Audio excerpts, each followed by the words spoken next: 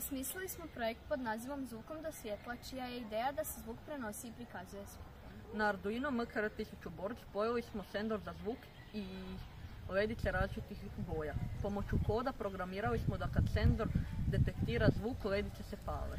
Neke se pale na tiši, a neke na glasniji zvuk. Koristili smo diode i žice kako bi sve povezali i ujednačili odgovor.